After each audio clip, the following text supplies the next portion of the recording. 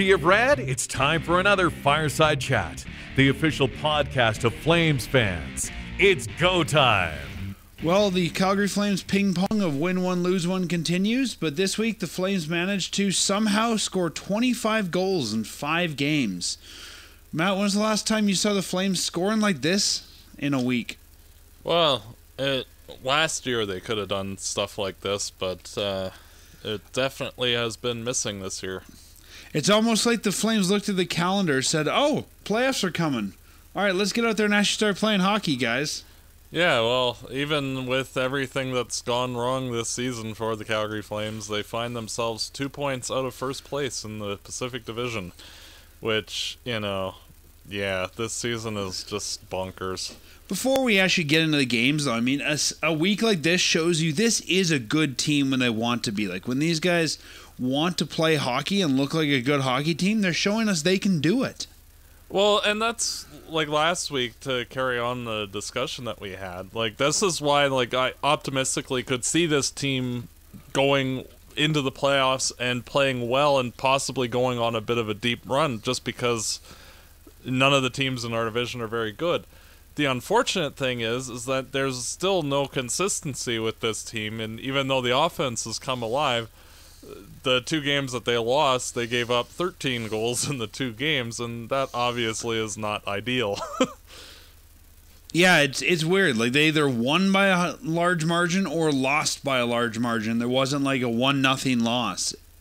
Well, on Calgary Puck, I heard somebody say that like the last six games, it's been like tennis matches where you know in straight sets, six three, six two, you know, like that kind of thing, and it's just yeah, it, very odd scores for the Flames lately, but it's good to see that the team is getting offense from most players. And interestingly, in the last like I think it was 13 games, Gaudreau and Monahan have only scored three goals, and Monahan scored one in today's game, the last goal for with a goalie in that anyway. Uh, but yeah, it's interesting that with the 25 goals, only a couple of them have been from the guys that you'd expect to be getting goals from, and everybody else seems to be kicking in. Well, let's talk about that. I'd say this is the week of the depth scoring. If we go all the way back to the Calgary Flames playing in the SAP Center in San Jose, uh, the Calgary Flames ended up beating the Sharks 6 2. And like you said, goals from guys we wouldn't expect. We got goals from Lucic, Rieder, Rinaldo, Jankowski, Tkachuk and Backlund. So I mean, Tkachuk. Well, that, those first four guys, that's exactly who you draw up the game plan around scoring. You know, those four guys. That's why automatic. you keep Rieder in the lineup, and that's yeah. why that's why Rinaldo's here because he can score the goals. Yeah, well, I saw one metric that uh, Rinaldo's actually for ice time is one of the top ten scorers in the entire NHL. So you know, he's awesome. Clearly, what surprised me was this is his third goal of the year. Well, Rinaldo, he's a weird player in that if you give him the right shots in the right areas, he can actually score goals. It's just that seldom does he actually find himself in those correct positions and you know, it if you give him a shot though, he can put it in. Yeah, and and he's played. I mean, a few of these games this week where he's looked decent. He's uh, been with some different line mates too. I yeah. mean, one of his goals this week, he was with, I don't know if it was that one, he was with uh, Janko or with uh, Gaudreau and Monahan at the time. Yeah, that was the that one. Yeah, so game. so like you know you're you better score if you're with those two guys. Yeah. Um, well, anything you want to talk about with this game? I mean, I think it was I don't. I think we expected a win. You kind of have to win against San Jose, especially when San Jose beat you last time, and we had the big win against Vancouver. We were hoping they could translate it, um, and they did. And um, you know, I don't know what you thought, but I was. I thought we'd get a win. In in my heart, I thought we'd get a win, but I didn't expect to be this high. Yeah, well, San Jose is kind of bad, and uh, like everything has kind of gone wrong for them this season with injuries and yeah, like it, it, I was expecting them to be more like fighting with us for the division this year again, just like we were last year. And when you have all of your good players pretty much get hurt, you know. But I mean, wheels it- fall a week before this, it was a three-one San Jose win in the in the Saddledome. Oh, I know. Frankly, they shouldn't have lost the last game either to San Jose. So, like, the, they really didn't show up at all in that ga- game. So, you know, the fact that the Flames actually showed up in this one, they were able to just walk all over the Sharks. And, it, yeah, this is what I was more expecting. And frankly, Calgary against the lousy teams like San Jose, Anaheim, Chicago, and LA, they should be running up the score and putting a lot of goals in the net, which they did. You know, they didn't obviously win all of the games, but you know, you these teams are bad and like they don't have very good defense and they don't have good goaltending. So the Flames should be able to exert a lot of offense on them and put in a lot of pucks and they did do that this week. It's just some of the games they didn't show up for either. I think you're probably alluding to the next one. Uh, two days later, Yep. the Calgary Flames went to LA to play in LA against the Kings. Ended up losing five to three in this game. I'm not going to go as far as saying the Flames didn't show up. I thought we've seen some lousy efforts this year where the Flames didn't show up. I thought they played okay in this one, but it wasn't a complete game on both sides of the ice. Yeah, that, frankly, I they had, Like, I thought they had like pretty the- good offense, but I thought they were lousy on the on the back check, and I thought they were lousy on in their own end.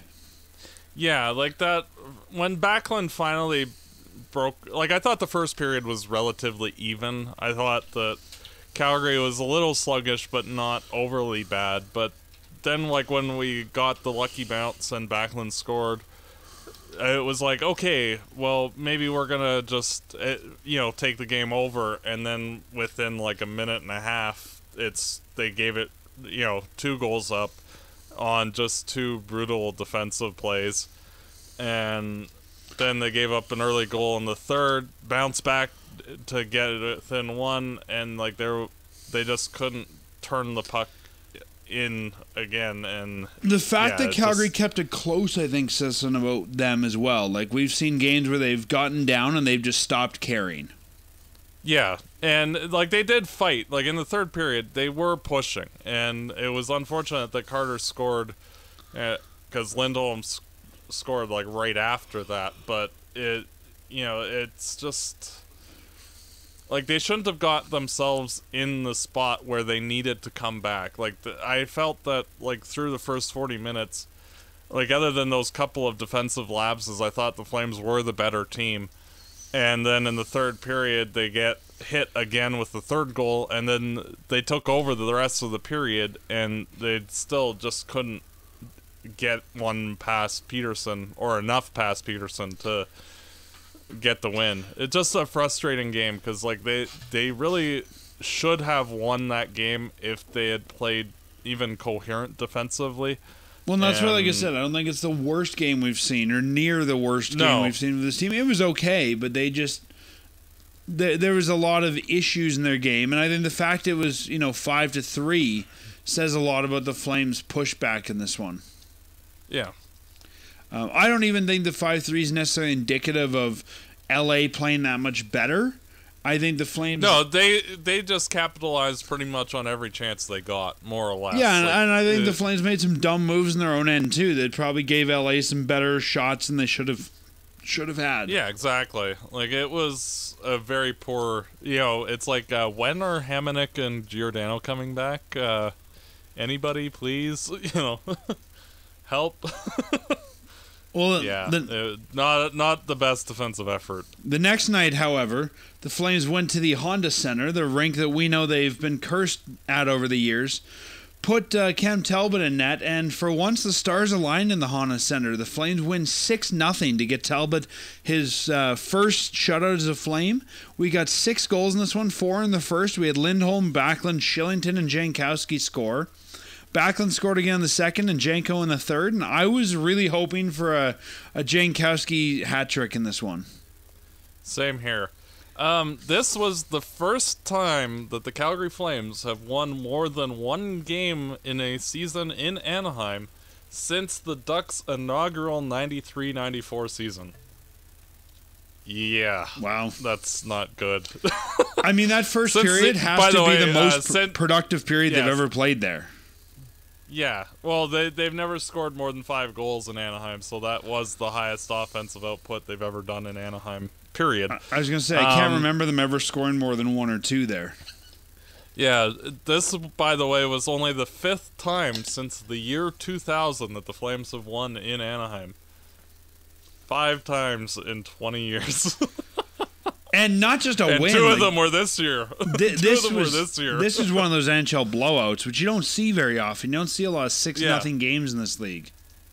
No, and frankly, Anaheim is a bad team, and the Flames did what they should do to bad teams. Like if they're playing correctly, and uh, by the way, I'm glad to see that Jankowski, uh, like earlier, just before he scored in that Ottawa game last month. uh, I think it was in the show prior to that that I said if he actually gets one, he'll go on a run. And in the uh, seven games after he scored a goal, he's now up to five. So he's you know he, he just seems to be getting things going right for him. And sometimes you just need that monkey off the back, and then things start going back to normal. Yeah, and, And I mean, at this th- rate, is I, I wouldn't even be. Go ahead. Yeah, I wouldn't be surprised if he hits double digits at this rate if he keeps it up. Yeah, I mean he he was having a tough stretch at the beginning, so was everybody, but he's, you know, there's even times you and I talked about should he be sent to Stockton? Should they, you know, move him down there and get his confidence up and whether it was in Stockton or here, I guess it was just, you know, he needed some time to work through whatever he was working through and you know, we're not expecting this guy to be a top scorer on the team, but to see him get two goals in one night and a couple this week, this is the kind of depth Yeah. scoring you need from him. Yeah, well, frankly, like you need from him being either a third or fourth line center, you need like 10 to 15 goals from him over the course of a season just because, you know, like in order for him to be an adequately good player at the NHL level, he needs to chip in something. And like he looked lost basically until the new year. And uh, you know, I think we were both going like, is he Joel Colborne 2.0, where he just vanishes into nothingness? And you know, like I wasn't even sure at the, you know, if he was going to be worthy of even follow, filing a qualifying offer for, frankly, and just letting him walk at the end of the season and uh, you know now he's looking more like himself and you know I wouldn't be I wouldn't really mind at this point like if he can keep playing like this the rest of the season and for him to be back for a few seasons it's just hopefully whatever funk he was in is gone and you know just a random aberration sort of like Tobias Rieder's season last year with the Oilers. If you look at Mark's uh, career record in let's start at 2017 2018 when he actually played full time he had 17 goals 8 assists for 25 points. Last year he had, he played 79 games had 14 goals 18 assists for 32 points. This year he's got 47 games played 5 goals 2 assists for 7 points. So he's probably not going to get to the 32 or even 25 marker. But you know what everyone has ups and down seasons and i think like you said if we can get him to double digits i think we're probably getting the most out of him considering where we're at right now. Yeah, well, everybody's offensive totals are down significantly, pretty much halved at this point because Calgary was such an offensive dynamo last year that, like now this year, it's been up until this past week, it's been very few and far between with the goals and. You know, the Flames were at like at this point last week down near with Anaheim and San Jose near the bottom of the Western standings in goals, and now they're seventh in the West just from one week. So and like they're only I think nine or ten goals out from being in the top three. So you know after all of yeah they're 12 goals from uh, second in the West in goals. So like you know, after struggling all season with scoring, you know, one good week puts them pretty much right in the thick of things, back near the top of the offensive categories. To be again. to be fair to the Ducks in this one, there were some impressive saves that Cam Talbot made here. I mean, you know, it's not like the Ducks didn't do anything. They got more shots on goal than we did. They got 44 shots, and Cam Talbot definitely had to work for his shutout here. And not saying they're going to do this, especially after this week, but if you were looking to potentially have moved Talbot, I think that's the showcase game to do it. Yeah.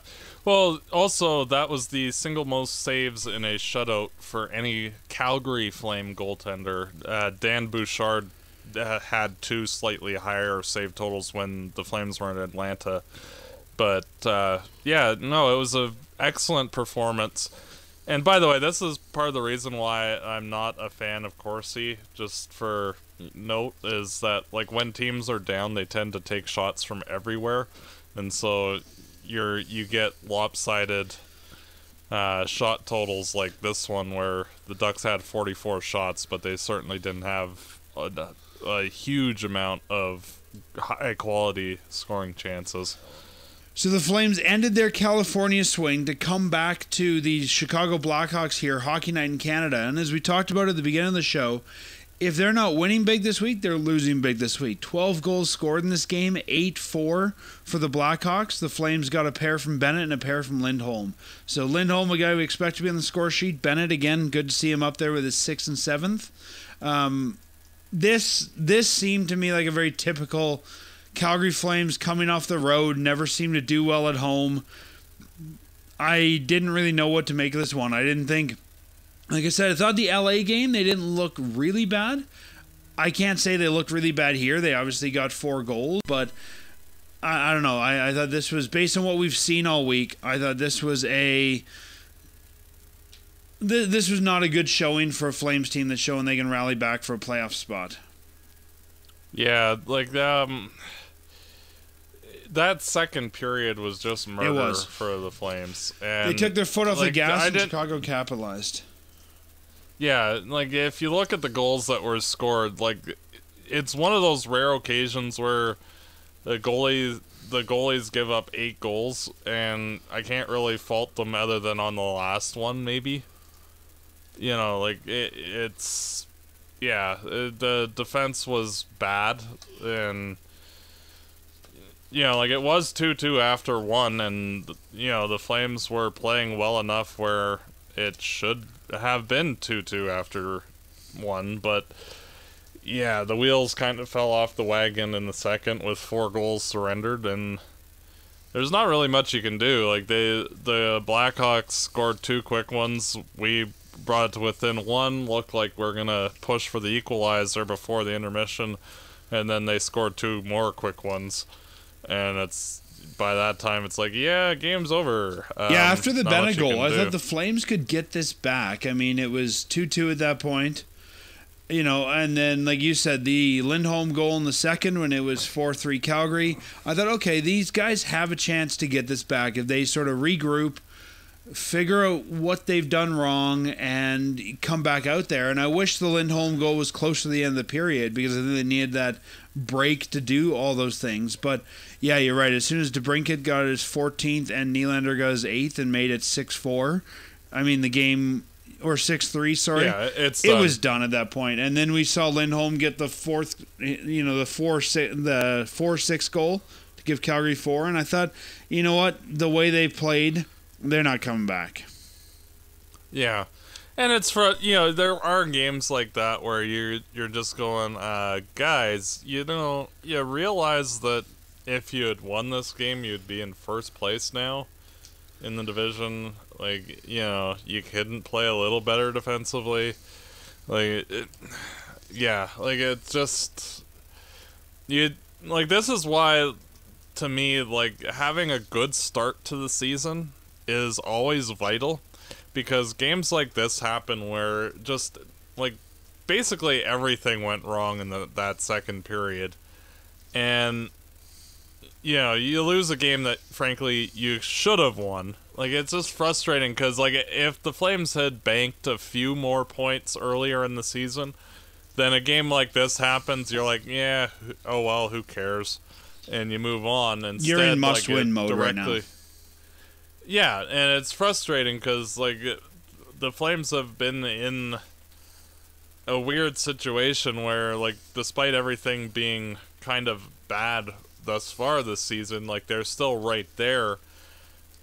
And it's like okay, guys, you know, you got to now play the games the right way. Like you can actually win the division still with and not like if you win like all the rest of the games, you can win the division. Like you just have to you're 2 points back. Like it's not a big deal. And like games like this game against Chicago and the game against LA, like they you can't do that anymore. And like especially especially against frankly loser teams like those guys are. Like they're not any dreams of making the postseason this year, and like that's I think the fifth time that the Flames have lost to Chicago and LA this season. Like they're not good teams, and you know even if you win two or three of those games. You know, like you're talking about being first in the division with a little bit of a buffer just by winning a couple of them and, instead of losing them all, and it's just yeah. We can't Very we can't go back and change the past, but the thing I'm I'm proud of this team for in both the LA game and the Chicago game is they were able to bounce back with a big win the next game. And they haven't let those Yeah. become losing streaks, which I think we've seen this season where the team will lose one and then they get down and they lose another one, lose another one, and they get themselves in a hole. And like you said, you know, for better or for worse, you're going to lose games. Nobody's going to go, you know, two months undefeated. Well, Matt, as we talked about, the Flames did answer back in this one, and it was a big win for the Flames in a 2 p.m. start here in Calgary. The Flames wore their retro whites.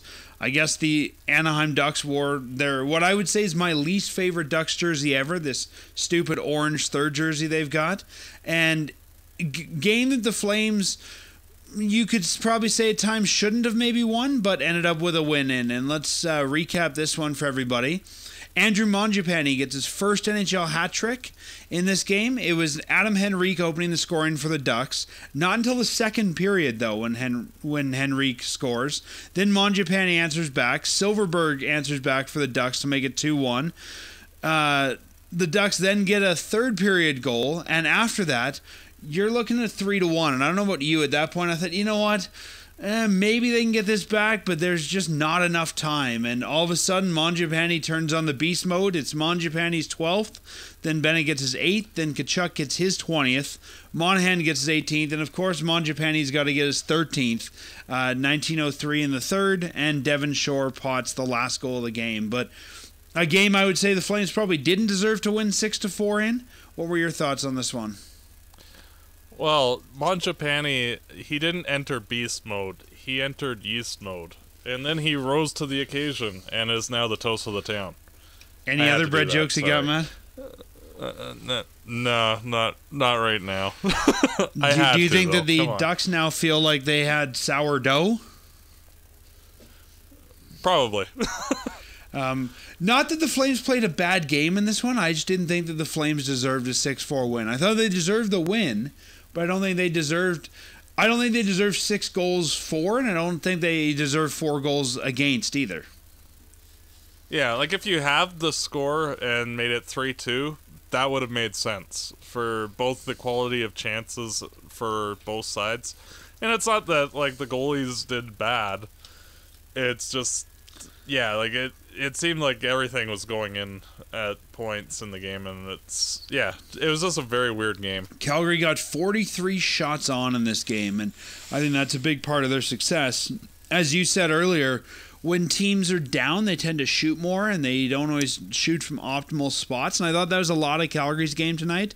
They were just putting more rubber on the net, and I think they were able to capitalize on it more than the Ducks did.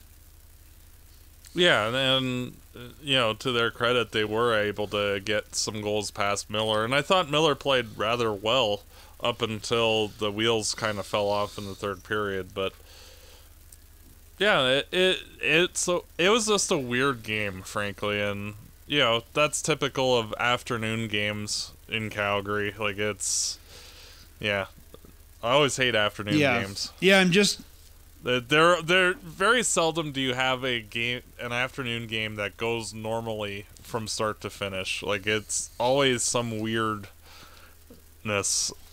one way or the other. I'm going through the goals here in my head and watching the replay at the same time, and I think I would sum this up as Calgary made the most of their offensive zone chances. I don't Yeah, think they. I I, don't think they necessarily had the better shots. I don't think they played that much of a better game, but I think they were putting their shots on net. They were keeping the puck in the offensive zone a little bit better. Um, and just yeah, I think making better use of their offensive chance. Not always the first chance, but making better use of those chances overall. Yeah.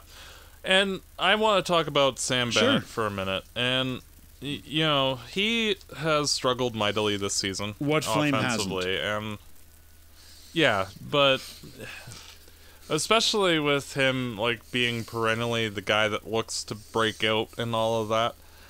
And it's so frustrating seeing him play because there he's been playing a lot better recently and scored a lot of goals this week. And if he can start you you know getting confidence in himself and his abilities, he can be a 20 plus goal scorer. Like he does have that talent in him. It's just for whatever reason he seems to get down on himself and gets in his way a bit and and we see that like when he takes gets things start going wrong and he starts taking penalties and like I'm just hoping that like with this hot streak that he's on that he can harness the positivity that he's doing from that and go on a extended roll with it cuz like there's no reason why he can't be a top 6 forward in the NHL and like uh, if I was looking as a, another team like Bennett would be like one of the top 2 or 3 guys in the NHL that I'd be looking at as a breakout candidate. And he's he has all the skill. Like there was a reason why he was drafted fourth overall. It's just that he needs to harness the positivity and whatever you, you know. He, he just seems to get down on himself when things aren't going precisely his way, and if he can start doing things as he has been and get a few games going together like he has and just keep it up where he's doing the right things and taking good shots you know like uh, he could break out it's Well, just, and we say know, this I'm about Bennett that- every year. He could break out. And I guess the question becomes how long do you give him to have that breakout season? He's in year one of a two year deal. Um, he's never got more than 18 goals in a year. I mean, you know, you could say that Rieder could break out or, you know, Buddy Robinson could, but I think at some point you've got to say, you know what, we've given this guy the rope and it hasn't happened. And if it hasn't happened by when do we say it's not going to happen? I would say you give him till the end of this contract. I don't know that. I mean, he's got a slight increase in pay every year. I don't know that you bring him back at 2.5 million when he's 25 if he hasn't broken out yet. yeah I don't know. I don't know I what you think. I just think if he's, you know, he's 23 right now, so he's on his 23 year year. Next year will be his 24 year old year. If he's 25 and he still hasn't broken out, I think he becomes a perennial middle middle six NHLer. yeah i i would agree with that like it, you know you're looking at basically more or less like a Raffi Torres type guy And like you said, a lot of GMs No. probably would think there's some uh, some upside there, and I could see him because of that jumping around the league on a lot of one or two year deals. Of okay, let's go to Chicago, didn't work out there. Let's go to Toronto, like you know wherever it might be. I think there's a lot of GMs that would probably keep bringing him back because he's good enough, and I think he could have a long career in the league because he's good enough. Yeah, uh, just uh, you know, like uh, I like Sam Bennett, like I especially during the playoffs. Like he's always like one of the Flames' best players during the playoffs, and uh, like I just like uh, when he's elevating his game, he can be a very key contributor for this team. It's just that for whatever reason he can't find any consistency in the regular season, and I'm hoping that with this little hot streak that he's on, he can go on a more of an extended run and maybe get into, you know, some more offensive chances and maybe getting played further up the lineup instead of relegated to the third. Well, like you said, because of his playoff prowess, I could also see this guy be a guy who gets moved a lot in his career the deadline of teams saying, "Yeah, let's bring him in now. We don't want to pay him all year for his playoff performance."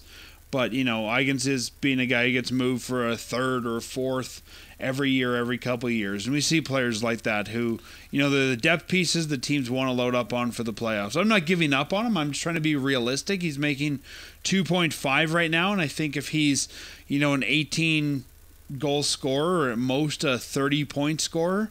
I'm not sure when we start diluting the talent pool in two years with you know 25 new NHLers.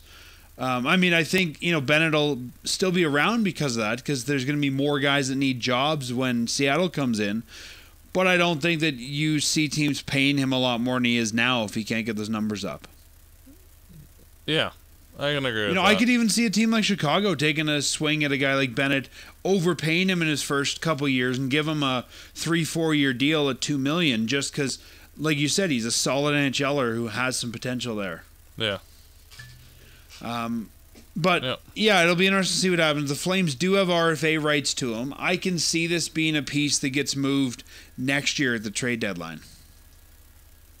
yeah, I could see that. well, too. with that in It just uh, it depends on lots of factors, but I'm hoping that he breaks out because you know a lot of Flames fans really do like Sam Bennett and you know want are cheering for him and want him to be successful here, especially because he does step it up in the playoffs, and you know you want guys like that to be you know, like if you're wanting the Flames to win the Stanley Cup, like he's one of those guys that you'd like to see be successful with the team, and like especially because we drafted him and all that, and you know, I'd just like to see him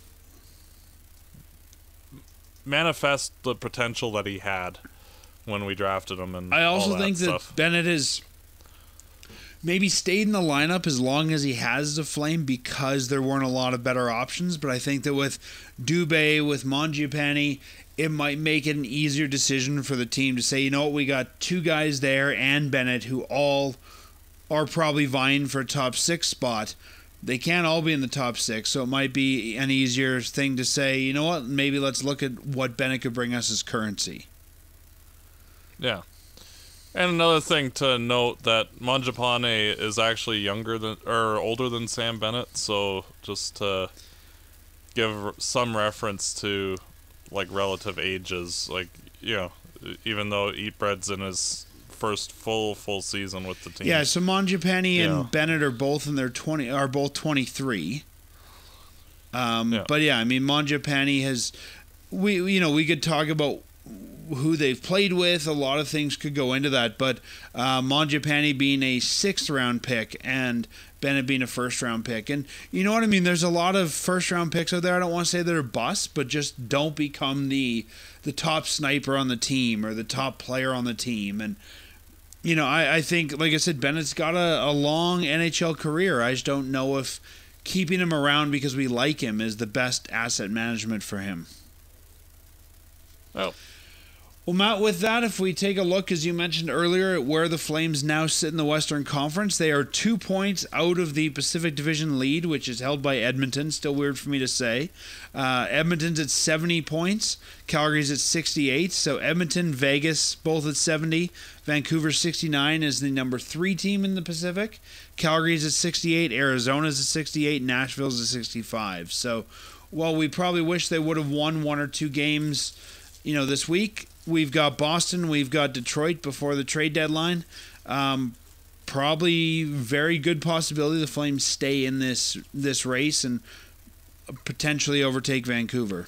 looking ahead beyond uh, this week to the trade de- past the trade deadline all the way through the middle of March uh, if you go all the way to the March 18th um, the Flames actually are playing virtually every game except for one game against New Jersey and the one game against Detroit are against teams that are either in the playoffs or are vying for the postseason. And you know, like in ninth or tenth, like they're really right there alongside, and that this was why like this past like eight games was so vital for the Flames to go on a tear, and they did win four of the eight, which that's adequate. But you know they really did need to win more than that, and they needed six at least. And like now you're going into a stretch of games where like most of the teams are fairly good, and like the Flames are going to have to earn the points moving forward. They set and- themselves in a good Yeah, right position through to into 20 those games, though. Yeah, but you know, like this is where like they really needed to be better throughout the last eight games and heading into like all the way to the 21st of March, like it, there's only two easy games out of the next like 11, 12 games. So Calgary needs to be ready to go pretty much from puck drop each game and they- they're not going to have any easy opponents now in the next 15 and it's frustrating because you know like it, the flames needed to like they don't have much of a uphill climb to get into first in the co- or our division but you know it would have been a lot easier had they banked some more points against But again, coulda, woulda, shoulda, right? We got to look ahead now, not back. We are where we are, and we. True. I mean, the the Flames are probably doing the same, right? You could go back and say we should have won that one, should have won that one. We didn't, so we've got to play the hand that we're dealt going forward. Um, I think to me the biggest promising thing that we saw this week was not that we can score six goals, that we got depth scoring. You know, you talked about Bennett getting going. Uh, we saw Jankowski getting going. We saw Rinaldo chipping in. I think if you're gonna beat some of these teams and show you can play against playoff teams, it can't be Johnny, Monty, Lindholm, Tkachuk scoring you know six, eight goals a night. You need those those depth guys chipping in, and and I think that's that's what's going to tell us if the Flames can win these next few games or not. Is if the depth scoring can continue. Yeah, and like that's part of what made the Flames team so dangerous last year. Is Goals came everywhere. Basically, everybody, yeah, basically everybody on the team was doing adequate or better throughout the lineup, and like not so much this season. And thankfully, uh, with Eat Bread playing well and uh, Dubé playing well and Sam Bennett playing well recently, even Jankowski it helps. And like those guys need to continue playing like that if the flames want to make the playoffs. And you know hopefully guys like Gaudreau and Monahan actually show up and contribute some offense themselves instead of like three goals in 14 games. But you know that we'll see how that Well, goes. and you know, you said earlier, Jankowski for whatever reason struggled early, and you know now he's coming alive, and we're hoping uh he can go on a bit of a streak. I think we're seeing that with Bennett as well, and for whatever reason, if you know Gaudreau's not coming alive, well. Hopefully, some of these guys can augment that scoring until he does, you know, and whether that's by committee or one guy like a Mangiapane or a, a Bennett starts scoring a lot of goals, I think there's enough scoring talent. They've proven now they can do it. I'm not expecting a you know six nothing win over Boston, but we've proved that these guys can No. play a good game and get a win. And I think you're going to see lower scoring games, but they need they need to keep playing the way they've been playing when they've been winning. Yeah. And you know, even if the games are much lower scoring in that case, um, there still needs to be shots from everywhere. Every line needs to contribute somehow. You know, even if we find one or two lines scoring, be those the top two, the bottom two, whatever, we need to be ready for everybody to be in that position to score and contribute offensively, to put pucks on net, to you know jam them in front, and that's how you're gonna have success. And the best teams in the league, that's what we're seeing. Yeah. And one thing uh, that's noteworthy is that this team has changed their offensive style uh, the last six, seven games, where by and large they've been, instead of chipping and chasing, they've been carrying the puck through the neutral zone and being that transition team that we saw in the early part of last season. And hopefully that can continue as well, because I think that plays more to the Flames' strengths as an organization because they don't really have the speed to play the chip and chase. To me, the chip and chase style has always looked Um, like a team that was not offensively confident. For for any team, even if you have speed, Uh, it's like let's chip it in, let's go get this thing, let's kind of hope we can set up. I think when you can move it on your own, past the blue line, you look whether you are or not, you look more offensively confident, and you give yourself the chance to set up how you want to. Otherwise, it kind of seems sometimes like, oh hey, we chipped it in and we you know managed to get ourselves in and hey look we got a goal if that makes sense instead of like we're coming in we know what we're doing let's put this on net and you know good luck trying to stop us Yeah, and like the way I always look at like at things, like I don't like seeing teams giving up possession without a battle. And like when you chip it in, you're in effect making it a 50-50 split where you'll get the puck back or not. And you know like and that's just getting the puck back. That's not even doing anything with it. And it just seems to reduce the overall percentage that a play will actually turn into anything noteworthy and it just it seems to like make the everything harder when you do it that way. And you know like it anytime like a defender approaches a forward like it's going to be a 50-50 battle. But you know if you can reduce the amount of battles that you have to fight with the puck the more that you'll have a good chance of scoring. The only And- thing we see from the flames sometimes is they take it in and they make too many passes. And i think that's another thing this team's got to be careful of is bring it on your own accord. Don't dump it you know chip it and chase it like you were saying or dump it and chase it. But know when it's time to get that shot off. And it's not just when they're playing this way but so often we see the flames make one or two too many passes especially on the power play. Yeah, well, to me, like on the power play, it should be like mo- no more than like two or three passes before you shoot. Like, unless like you're having a passing clinic where you're get you know completely eviscerating the other team's defense and like just going tic tac toe with things. And I think the sure, issue, honestly, is often we don't have forwards in happens. position, so they're trying to pass it, waiting for forwards to get in a position. If you got one or two guys in front of the net, just put it on the net, let somebody try to jam it in. Yeah.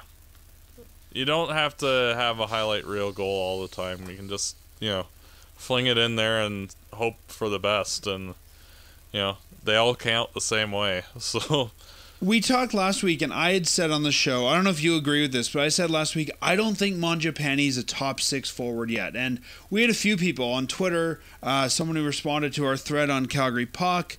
Number of people asked why not. Um, first, before I sort of, you know, speak for us, do you feel that is a legit top six on a playoff team?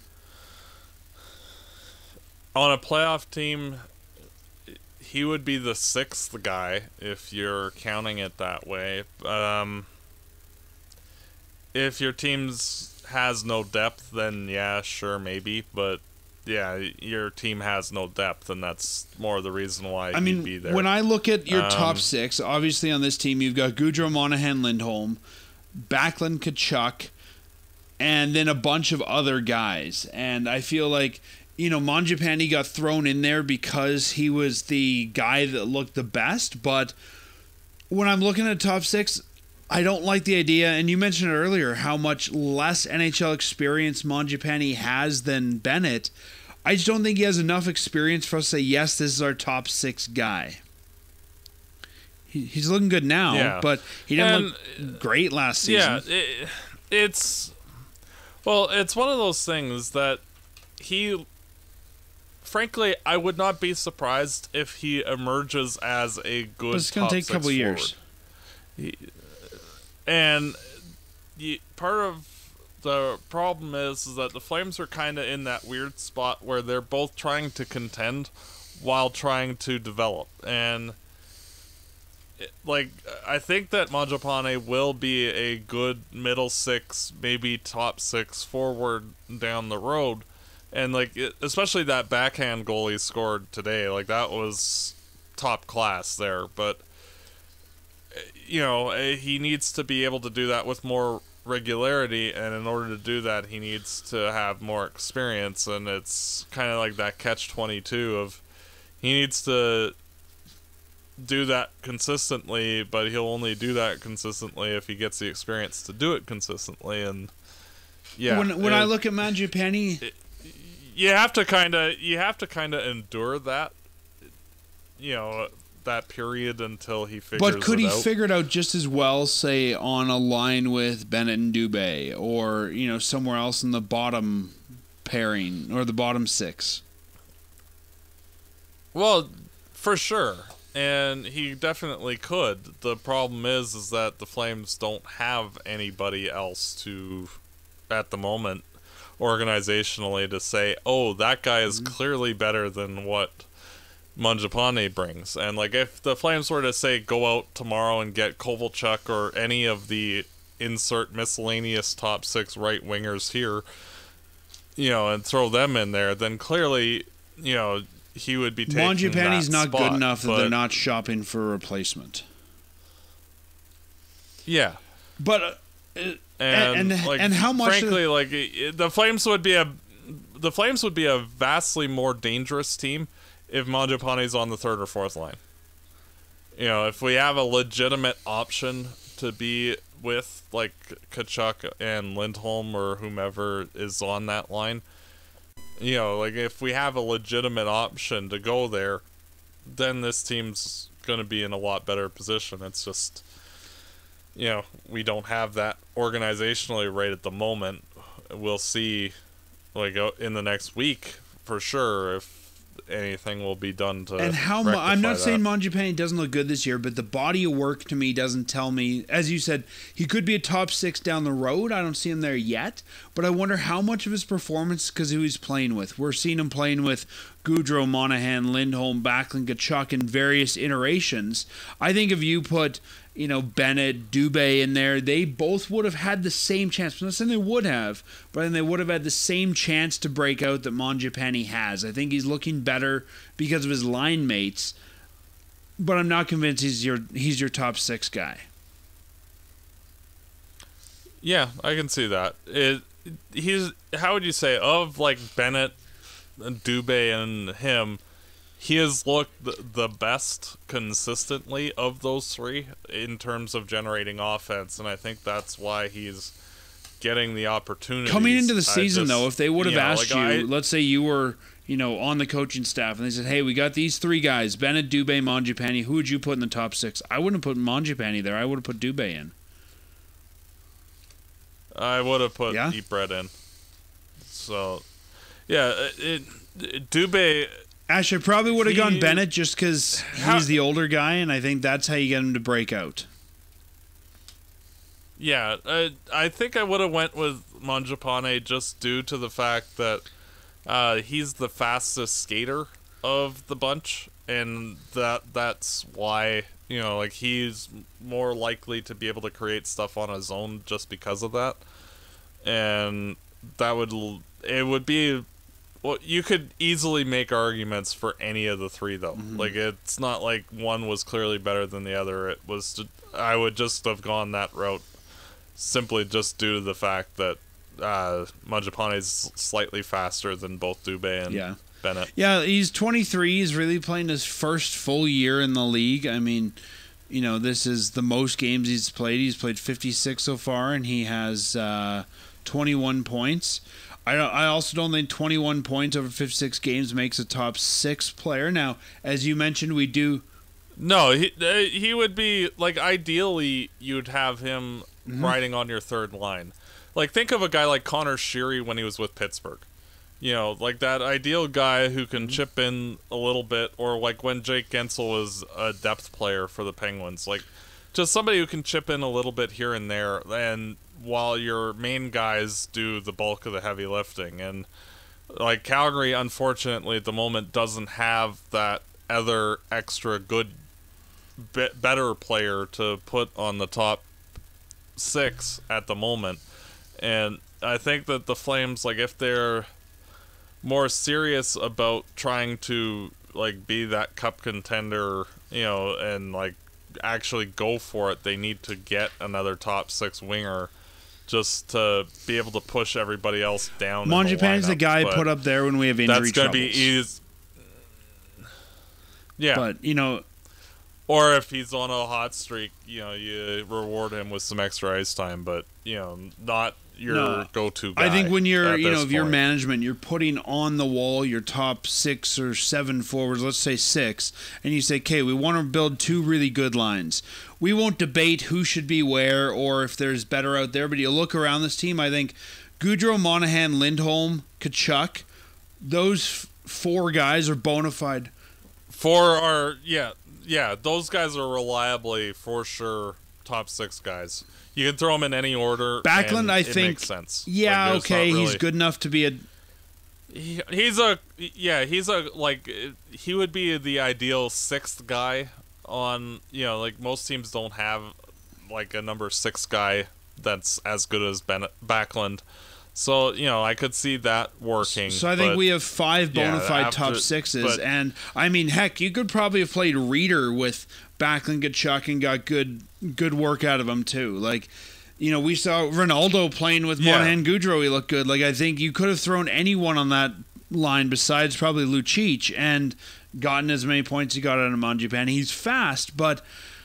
I just I'm I don't want to say he's top six yet until he's proven it. Like as you mentioned, he very well could be.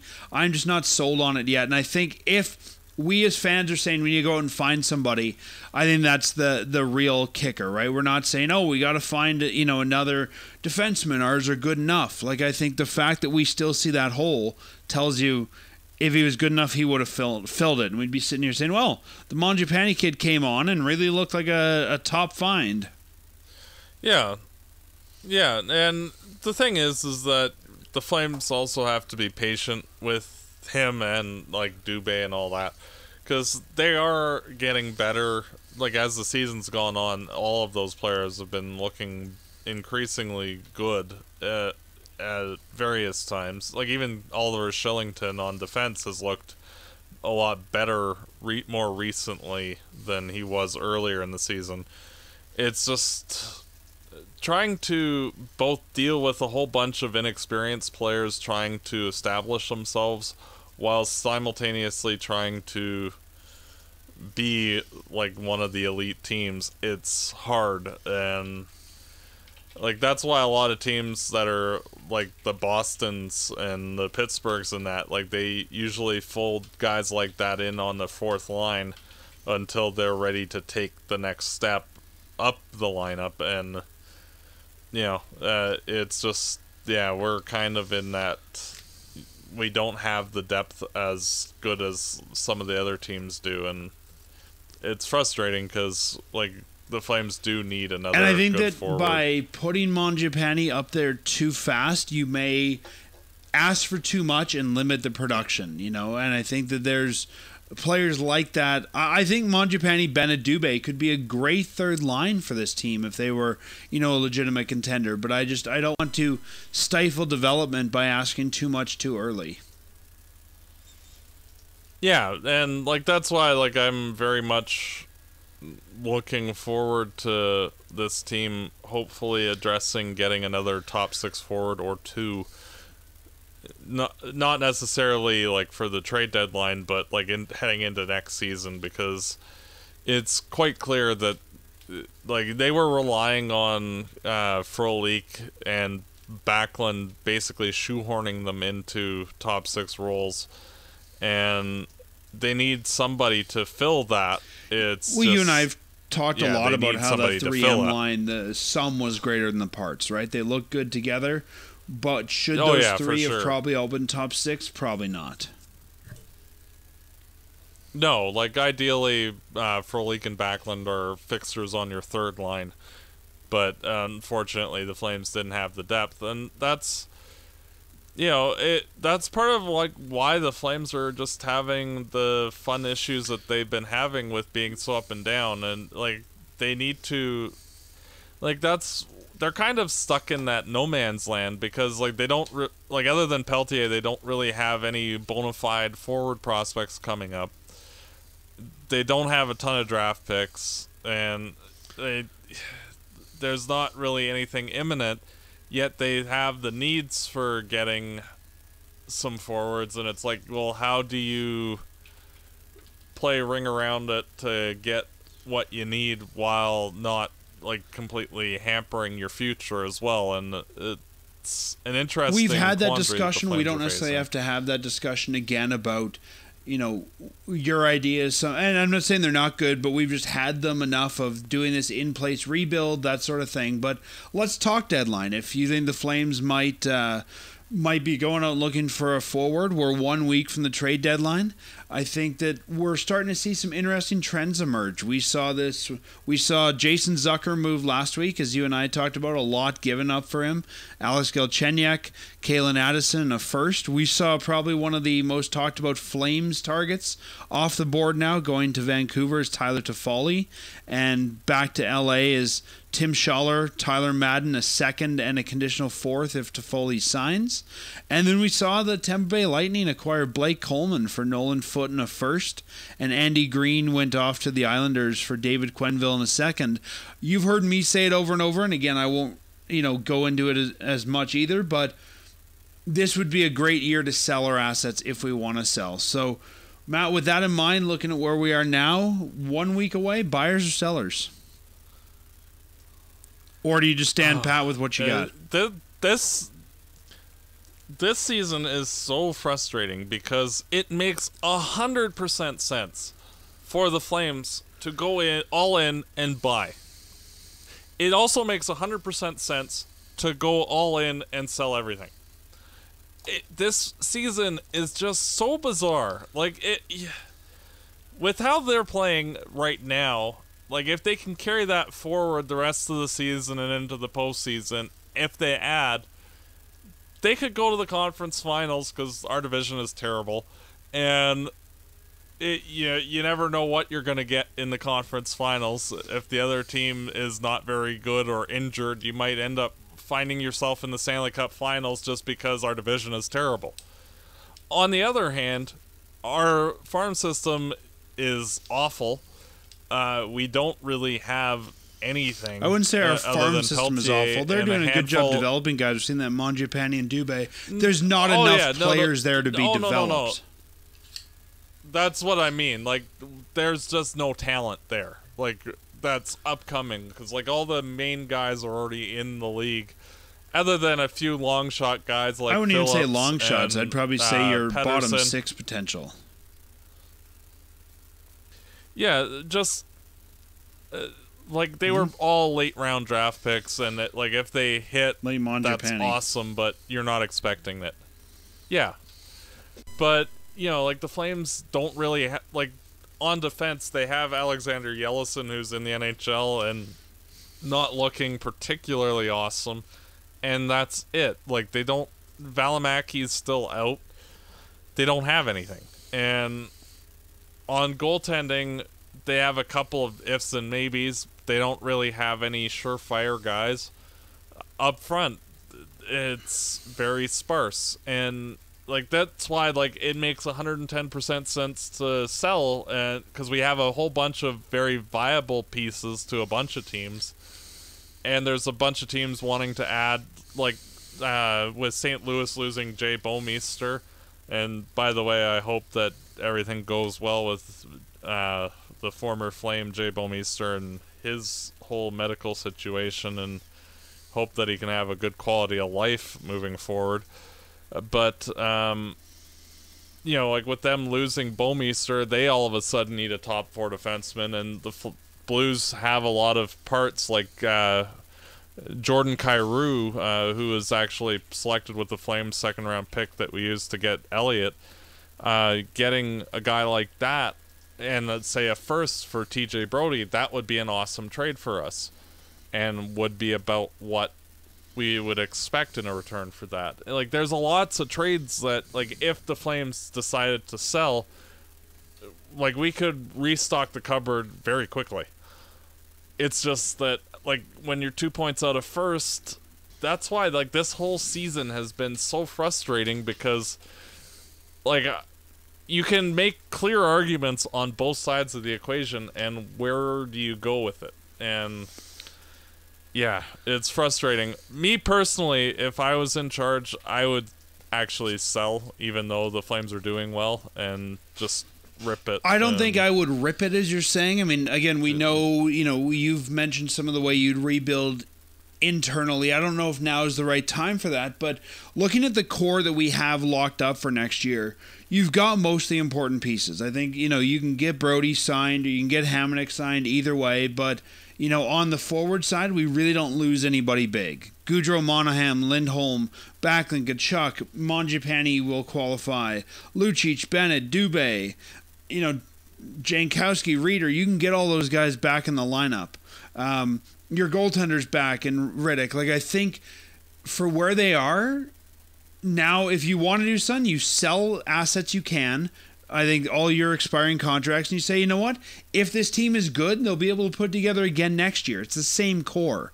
If they're not, then we got to do something in the summer if we don't think they can. But just looking at what you know players are going for right now, sell the UFAs. Yeah, I'm in the same boat, and like even if there's the odd bigger Backlund's piece got, like uh, a full Backlund no or trade. Giordano, that I know, but you know if you say, "Hey, we'll trade you the Washington Capitals or Boston Bruins," I think you your bigger pieces like Stanley Cup. Backlund or Gaudreau, you look at at the draft. Those have to be hockey trades. True. I don't think you're going to see hockey trades this year. Yeah, we'll see. Uh, that's why it's so frustrating with this because, like, if they were say five points down or up from where they were, you would have a clear indication of what they should do. it's just, yeah, it's very hard because you know, like, uh, to me, like, uh, frankly, I would sell either way, um, just because of the fact that you know, and that that would be a very frustrating thing to do, and I'm sure a lot of Flames fans would be rightly annoyed. But you know, there's also a reason why a lot of Canadian teams don't do very It'd be well. different to me if this is the last year of this core or something, and you say, you know what, let's try to run with it while we've got it. You know, but all the forwards Yeah. are back. Like we Well- talked about, Hanifin, Andersson, Stone will be back. Um, I think you can probably get Brodie back if you want him. Kylington, like there's not a lot of pieces. Number five will be back. There's not a lot of pieces here that aren't going to be here. So if this team is truly good, they did it last year. They could, I think, you know, legitimately show they were good again next year. And with a little bit of retweaking, with a couple changes in the offseason, maybe another top six forward, why not sell, get the value, and try it again with the same core? Yeah, because like especially because of how like this team has depleted itself with trading off draft picks to get valuable pieces, mind you. But you know, like it, you look at like what the Flames gave up to get Hamonic. Well, if you could say get a first round pick back for Hamonic, then you know you haven't really lost much of anything. If you know, Blake like, Coleman's worth a trade. first, like you got to use Hamonic's got to be worth a first. Yeah, like you look at Andy Greene, who's 37 and not very good. He got a second and a decent prospect. Like, you know, you look at Hamonic, like that guy's clearly better than that. And virtually every playoff team wants more defensemen. So, you know, like that would be like an ideal trade. And you'd basically recount what you spent to get him in the first place and you got to utilize him as a good quality piece for this team for the entire duration. So, you know, you wouldn't really be out anything, and this team could, you know, reuse his money next season either by attempting to bring him back or get another defenseman or spend that money on a upgrade up front or Assuming this team is, thinks they're they're playoff contenders, which I think they do, I don't think we're going to see them sell. Even though you and I think that's the best way to go, I don't want to see No. them go out and make a massive rental deal. I think looking at the roster and the pieces we'll have to give up, I don't think you can just give up a bunch of picks again. As you mentioned, we need players in our AHL you know system. I think you know when I'm looking at what are valuable pieces. Backlund's got a no trade. If you're looking for a rental, you're looking to give him a Bennett, a Jankowski, you know, a Kylington. I really think if these guys want to do something, go out and get your Oscar Fantenberg of this year to shore up defense. The Yelesin doesn't have to be in there. And other than that, stop. I think you've got the forward depth. Yeah. We probably need another defenseman or two if we think we're going to make a long run. Davidson's not going to do it. Yelesin's not going to do it. But, you know, trade your fourth for this year's version of Oscar Fantenberg and you're done. Yeah, and like if you can pick up a depth forward, like a decent offensive depth forward, you know, like I know I've mentioned Kovalchuk, but if there's even like a lesser version of that guy available that you can get for like a fourth or a guy like Ruzhitska or something like that. You know? At that point, though, I'd almost rather just bring Robinson and Quine in and let them roll in that bottom six depth forward role. Yeah, well, I'm meaning like I'm not meaning like I'm meaning like a middle six right winger slash center or something like that. Like, But but again, I think with all the players or all the teams that need players, you're not going to get Kovalchuk for a fourth because I think like Toffoli, like I think part of what happened with Coleman is they were bidding against each other. I just think that the buying's going to be so yeah, no, frenzied I this agree. year that you're not getting anything at a at a decent price. That's why I would say you know get one, pick one thing. If you need to pick a forward or a defenseman, go for that thing. If someone else falls in your lap, great. But if it was me, I'd focus on the depth defenseman. Yeah. Uh, keep kicking the tires each day until you know if something shakes out, and you know. But yeah, I mean, I, I think that looking at our forward group, if we had to slot Quine, Robinson, Kirkland, those kind of guys in somewhere in the middle nine, I think you can make it serviceable for a couple games in the playoffs. If we've got to run Yelesin in a conference final, we're in bad shape. And that's what I'm saying. I think if you're going to bring in one thing, bring in the depth D. yeah. Well, then you'd be seeing like a Brennan Evans situation where, hey, Yelesin, you're playing, but uh, for like 45 seconds. But even then, you're putting a lot of stress on your other defensemen. yeah. Well, you'd pretty much have to at that that stage, unfortunately. I mean, you'd go Valimaki but- in the playoffs before you'd go Yelesin, and even that I'm not sure is the best idea right now. Yeah. I know. I have a question for you. Sure. Valimaki, does he play in Calgary from now to the end of the season? Regular season? Yeah. If Giordano and Hamonic are out long term, I think he does because he's better than Yelesin. If Giordano and Hamonic are back, I think he stays in Stockton. We saw him, you know, in Stockton last year when he came back from his injury. I think he's got to go down there for conditioning. I don't want to put him in, you know, not having played all year, but yeah, I I think if if he's if we have an ideal defensive lineup, I think he's better off in Stockton this year. If we're scratching our heads trying to find his number six, I think they give him a shot. I don't think they give him a shot right after he's healthy. I think you send him down for a week, get his legs under him, and then bring him back up. Yeah. I agree. Well, you know, like I I know we like him. I know he's a you know top round pick. Flames fans want to see him. I'm not convinced this guy's got the durability to be in the NHL, Matt. I really am not. Yeah. He was hurt last year. He's hurt this year. We haven't. It's like our goaltenders. Parsons could be good. We got to see a full season out of the kid. Like Valimaki to me is the same. Prove to me you can play a season without getting hurt. yeah. Same with Gillies and yeah. Like I, I want him to be a good NHLer, but I don't want to put our eggs in a basket that so far has shown us it's not reliable. Yeah.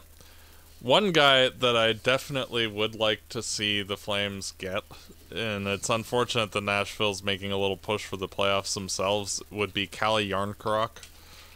Um, he's just one of those decent middle six forwards, and he's under contract for a long time, and you know he's just a decent overall player. It's just unfortunate that Nashville's actually somewhat in the race still. Um, but he would be a definitely a player I'd be wanting if the Flames do decide to add. That's the kind of guy that I think you make a hockey deal for, and I just I don't know how many hockey deals are out there this year at the deadline. True. Could be wrong, but I just I don't see a lot of guys who I, I don't see a lot of teams teams that are in the playoffs aren't gonna I don't think want to make the hockey deal. You know, Yeah. unless you you're like, hey, we got a D, you got a forward. But even then, I think with the standings as tight as they are, you'd want to do that Eastern Conference. And again, that cuts your window down. Like, I think if you're going to make a hockey deal, you're doing it in the summer. Yeah.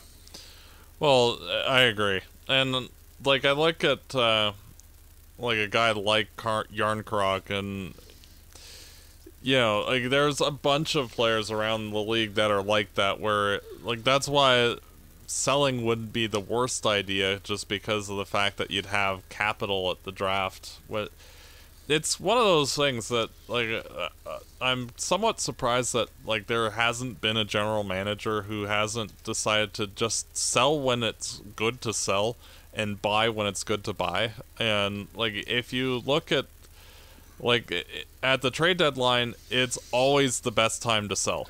And at the draft and that, it's always the best time to buy. And like I feel that like if you had somebody who is just kind of like building the team without giving any about anything and was just, you know, focused solely on like maximizing assets that you know, the you could get some really good bargains out of you know, just flipping guys at the deadline and then buying better like maybe like bounce back or breakout candidates like we did with Lindholm at the draft. Well, and I mean even on that, if I look at okay, so we need a, a right shot top six, and if I'm looking at guys that'll be available this summer, both have proven they can do it and might be breakout guys, I would almost rather wait and shop this summer than give up something for a rental. We've got Toffoli, Sam Reinhart, Ryan Strome, Jean-Gabriel Pageau, Connor Brown, Evan Rodrigues, Melker Karlsson, Josh Anderson, Jesper Fast, who I really like, uh, Josh Leivo, Jake Virtanen, like Kevin Labanc. There's, you know, Labanc's an RFA, Strome's an RFA, Brown's an RFA, but, you know, I mean, even if we look at the UFAs in that group, um, I, I just I think you're better to either make your hockey deal or go shopping in the summer. Yeah, I agree. You know, I mean, if I look at that that group, um, you know, look, looking at who's available, you know, as a as a winger there, I think I still think Toffoli's a target. Yeah. Um, I wouldn't. I would not be unhappy with. Um, I, I think Jesper Foster be a good guy. Not maybe your top six, but another right-handed guy and a guy who could break out. Yeah. Um, I could even see this team. Not saying I want them to go that way, but I could see them making a run at JS uh, Pageau. Like that, you know. I just think if you want to improve, like you said, sell what you can. I think this is the summer to do the improvement and run next year with the same core. I agree. So we'll see. We'll, we'll see what Tree does in the next week. It, this is like the perhaps like the single most fascinating trade deadline in modern Flames history because you know any which direction the Flames go, it makes sense. I think the worst idea that they could do is like completely standing pat. Because I think that would be kind of uh. You have to at least do a depth move if you're the Flames. I think right now. Yeah. What I don't, I think, I know what you're saying about anything they do could be the right move. The only thing I think they could do that would be foolish is to mortgage the future for this year. This team hasn't shown that they are. This is the yeah. year to mortgage the future. Like if you start to move, you know, Kylington or Dubé or Mangiapane for your rental, yeah, I think that's the wrong move. Yeah, I agree. You know, this is not the the year to start moving those guys for the rental. Last year, maybe because we, uh, we, you know, we were first in the West. We all thought we had a a long playoff run in us, but you just yeah. this is not the year to blow it up at the deadline and bring and go for the run. If you're going to blow it up at the deadline, you move some UFA pieces and keep the rest and say, hey, we'll tweak in the off season. But yeah, that's like the only thing I could see Tree doing that would be wrong. Yeah, like I couldn't see any like core pieces uh, moving at all, but I mean, even if you did something like Bennett and Banco for a rental, you're still now without two two forwards. very decent, yeah, depth guys, and like you know, then, so then you have to go and find two new depth guys to replace them, and, and that's, that's, why I think that, easy. and that's why I just think the price of rentals right now I mean, I think you'd have to include Bennett and or Jankowski in any sort of a rental deal, unless you want to give up all picks. And even then, we're screwed because we don't have a lot of, as you mentioned, other depth. So I think you've almost got to stand pat, Yeah. unless you're selling. Yeah. It'll be weird, that's for sure. We'll talk next week after the trade deadline and see what the Flames did. But Matt, before we uh, get there, we've got two games this week to look at. Yep. You and I made some predictions last week. Five games. Neither of us did well. I thought we'd win against Anaheim at home and LA on the road. You thought we'd win at home against Anaheim and lose the others. We were right. We won against Anaheim at home, but we didn't do well predicting the rest of the week. Yeah, well, wish it was even we were even more wrong than we were. Before we get to the games, um, one quick thing I want to talk about sort of leads into predictions is how do you use the goalies from here on out? I would say Rittich has been your better goalie recently. Or, sorry, I'd say Talbot has been your better goalie recently. I think you've got to run Talbot until Rittich earns the net back. Like, I would say Boston, Detroit, I'd give both of them to Talbot. Well, you look at um like uh, on uh, the game today, like they actually showed a metric of the last six starts, and like Talbot was running like a 930 save percentage, and uh, Rittich was in like 850 zone, give or take. Rittich's And- looked terrible at home recently, too. Yeah, I wouldn't uh, say so- terrible, but terrible comparative to his usual play. Yeah. So frankly, like I would run Talbot frankly until like all of these games now are must win. So you run with the best guy and Talbot has been the best guy lately, so you run with him until he starts being bad and then you throw Rittich back in. We have a back to back on the 29th of February and the 1st of uh, March. I think, unless somebody looks bad, I would run Talbot right till the 29th. Give him Boston, give him Detroit, give him the other Boston, give him Nashville, give him Tampa Bay. Give Rittich the second half of the back to back, which is Florida, and then assess what you want to do after that. Yeah, I agree. So with that, uh, let's you know you and I would put Talbot in net, but what are your predictions for these two games this week? We've got uh, one more game at home, which is Boston on Friday after the team gets a three day break, 7 p.m. start time. Then the Flames go on the road against Detroit on Sunday, and then it's the trade deadline. So only two games this week. Loss, loss. You think two losses? Yep. Why two losses? I think that this team won't be able to beat Boston. I think what will happen is that they're going to try their best to beat the Bruins, but Boston will just be too good for them. And then they'll get down on themselves and think, oh, well, Detroit sucks. They've only won like 13 games this season or something. And yeah, It's very Calgary Flames, isn't it?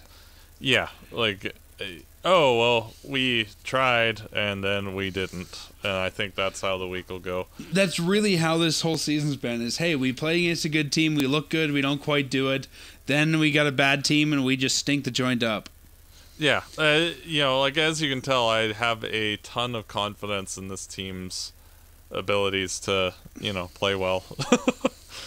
if they, They- do that, though, I think that that makes the decision to sell all that much easier for the team.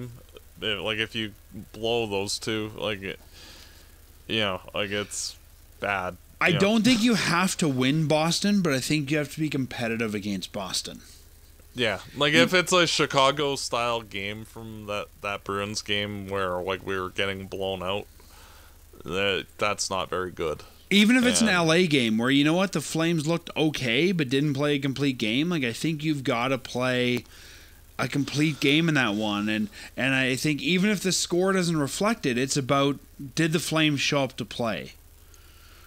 Yeah, I, I think Boston could easily embarrass us, even if we play well. I think the score on the scoreboard could embarrass the team, but I think you've got to show what you can do here, and we've built our confidence against lousy teams. You're not going to get a six nothing game against Boston, but even a two to one win, you know, anything at this point. You Yeah. know, like if the Flames walk away with the win, that would be awesome. But yeah, I don't expect that. I'm going to split the week. I think they're going to lose to Boston. I think it'll be a competitive game, but I think they'll lose to Boston. And I think that they're going to beat Detroit because they seem to be beating the lousy teams lately. Yeah, Lousy teams on the road, let's clarify. Yeah. So that's my prediction is two points of the four, and that Detroit game kicks off a long road trip. It's a a big Eastern trip, except for Nashville. That's uh, five games that doesn't end until the first of March. So, if nothing else, though, Matt, I mean, if we're going to be giving up points to teams, I'd rather we give them up to Boston, Detroit, uh, Boston again, Tampa. Like, if we're going to give up points, let's give them up to Eastern Conference teams and not to our divisional rivals. True. It's just they need the points regardless, so they can't really be For giving sure. up too many. But I mean, even, for- even if you got to give a loser point to Boston or a loser point to Detroit, let's give the loser points in those games rather than on the 27th against Nashville, yeah. Nashville. yeah, I agree. So, well, we'll talk to you next week after the trade deadline, and I'm I'm hesitant, but I'm really hoping this team either stands pat or sells, like we said. But just on the back of my neck, I have a feeling we're gonna have a big trade to talk about, and it might not be for the right reasons. Yeah, like uh, to me, like there's one main reason why Canadian teams don't win the Stanley Cup and haven't since '93, and that's they do the short-sighted thing because oh, we get to the playoffs, the fans will be happy, and then they lose. Well, not just the fans will be round, happy. We'll sell more beer. We'll sell more tickets. We'll make more money. Yeah, but you know, at the end of the day, like I've been to enough playoff games where like, okay, yeah, that's great. You know, the the two or three games at the end of the year and then you go home for, you know, and like to me like those don't matter to to be honest. Like ooh, we made the first round. Yay, half the league does, you know, like I want like- to see them actually do something instead of like, oh well, we got the participation trophy. It's like And making the playoffs in the CFL. Everybody makes it except for the really worst. Y- Yeah, like it, it's not something that you know separates you out. It's not like baseball where if you make the playoffs, it's a big deal just because like only five teams actually make it from each conference. Like it, you, in hockey, like half the league does. It's like, oh well, gee, we we're not on the bottom half of the standings. Yay. You know, like to me, like the Flames need to do what's right for with the end goal of winning the cup. And to me, like this team as it's built right now, they could fall backwards into it just because of the fact that the division's mediocre and all of that. But you know, ifs and maybes won't get you there. And I think that this team needs to build a foundation that's proper in order to take that next step and I just don't see this current group being what's needed. I think that they need Sacrifice to the present and a couple games maybe in the playoffs this year for the future, and maybe you know four rounds of playoff games next year. Yeah, well, like you look at Boston, they retooled because they were kind of, you know, in this same zone back in 2015, and they did the unusual thing of selling off a couple of their bigger pieces, but not vital core guys. eh, And Lucic, who was on the beginning of his downward spiral, and Dougie Hamilton, and they made the Stanley Cup Finals last year and they're looking to be the favorite to win it this year, and they're the best team in the East this year. And you know, like yeah, it sucked for like a year or so a- after they did that, but the team has bounced back and is even better than they were when they were waffling. And the Flames are kind of in that waffling zone, and if they can cash in now and get a whole bunch of good young guys, their drafting has been good if you make those picks, you're going to get a huge influx of good players and hopefully spring the team forward, not necessarily next season, but definitely the year after and moving forward. Well, let's hope that's what happens. Do you want to take us out, Matt? Well, as always, for the long term, go Flames go. Fireside Chat is hosted by Dan Stevenson, co hosted by Matt DeBorg. This episode produced and edited by Peter Marino. Fireside Chat is licensed under a Creative Commons license. For full license details, visit firesidechat.ca.